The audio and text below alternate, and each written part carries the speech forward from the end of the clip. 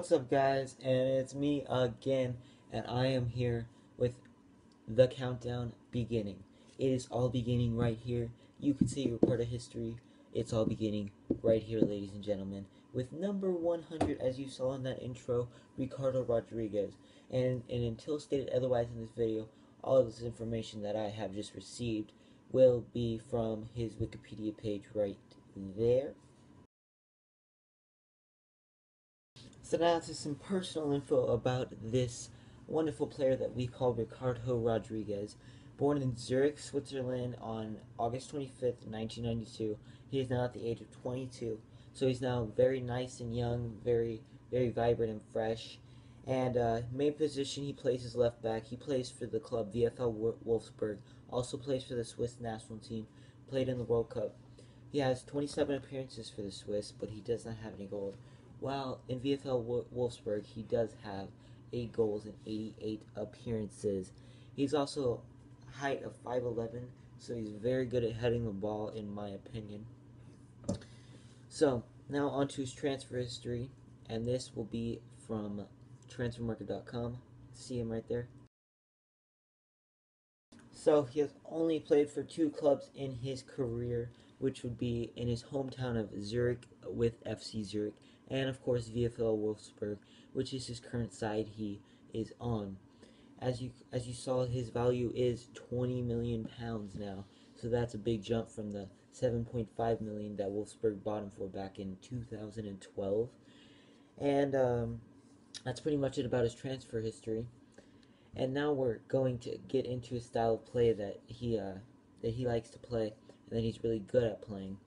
So First, I'm going to show you a video of a great save, a great clear off the line that he did against some team in the Bundesliga. I did not see the team, but it was a, it was an absolute beauty and made the coach livid. Lovely back heel from Seferovic. And back again. This is brilliant football. Oh, it is scraped off the line by Ricardo Rodriguez. So as you saw there, that was brilliant defending by Ricardo Rodriguez, and this is why I call him the complete left back and complete defender, if you will, because he can run up the field, he can cross balls in, whip in crosses, and set up his players to score.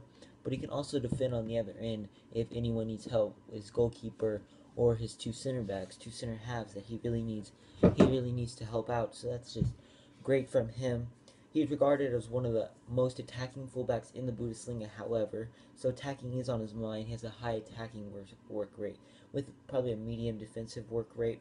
So he's great at whipping and crosses, as I mentioned, great skill in place, and he's complete. He's completed so many take-ons in the in the Bundesliga this year that it's not even funny. And whipped in crosses to set up goal-scoring opportunities for his teammates, and something that you might not expect out of a left back, but it's pretty impressive. He is a free kick expert, a free kick expert. He's good at free kicks, and you might want to watch out if this guy steps up about five yards outside the penalty area to take a free kick. Goalkeepers, beware! I am warning you right now. So now to the FIFA aspect of things that I I'm a big FIFA guy and I love FIFA, and I uh, I want to talk to him about his in-game performance that I've heard. So here first I'm gonna give you his card right there. So as you saw there, he is not the fastest, 76 pace, could be much faster for left back. But as you saw there, his defending and physical was very good for left back, and I thought that his in-game performance would be really well, and that he would be a complete left back in the game as well as in real life. So I hope you guys enjoyed the video, and I hope to get number 99 up soon by Thursday or Friday, maybe even tomorrow.